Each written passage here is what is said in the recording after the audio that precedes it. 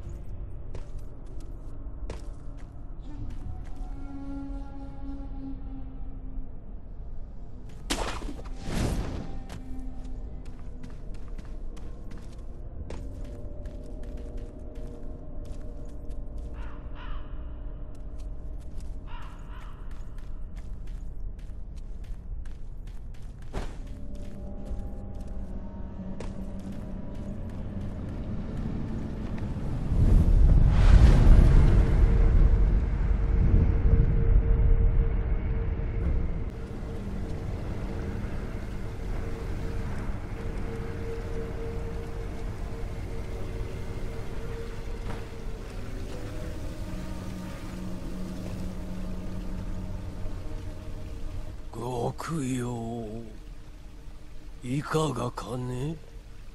こんなところにも。死者があるところまた供養衆あり。死ねぬ者でもお構いなしじゃ。さあご供養していきなされ。へっへっへっへへ。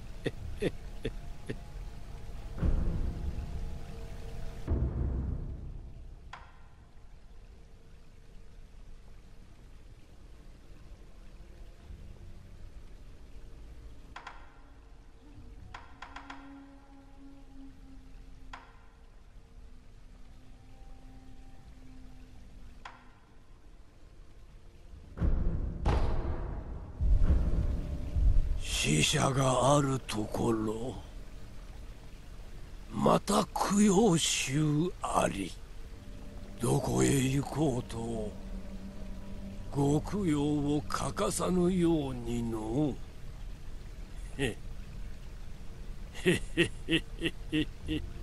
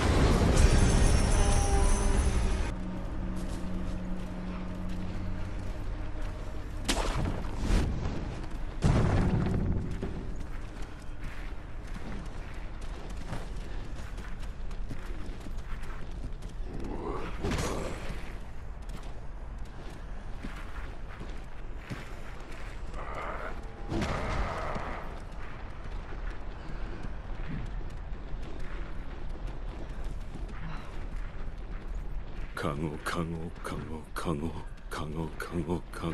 カゴオラはカゴじゃ。おい。カゴカゴカゴカゴカゴ。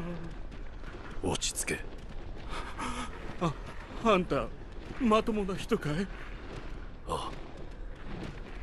よかったよあんたはまともなお人だよ。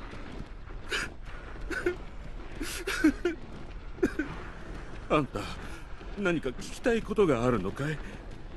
ただすまねえがほらこのままカゴかぶったままでいさせてくれ。